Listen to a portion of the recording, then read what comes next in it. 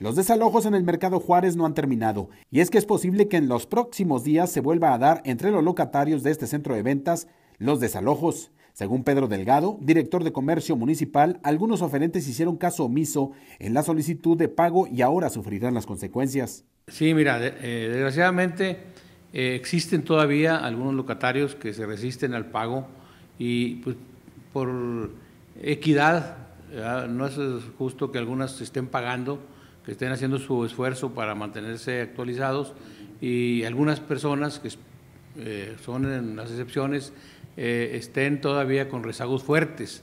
Entonces, con eso sí estamos este, aplicando los procedimientos legales para hacer una cobranza jurídica. Entonces es probable que se vuelvan a los desalojos. Así es. ¿Cuántos casos? Eh, mira, traemos aproximadamente ahorita unos 12 casos de donde ya se les ha estado notificando, desde la semana pasada, el viernes empezaron a notificar, este, y si hay algunos casos que desgraciadamente, si no pagan, se va a proceder al desalojo. El adeudo que se tiene al ayuntamiento por este concepto supera los 2 millones y medio de pesos. Con la imagen de Marco Gamis para RCG informó Enrique Hurtado.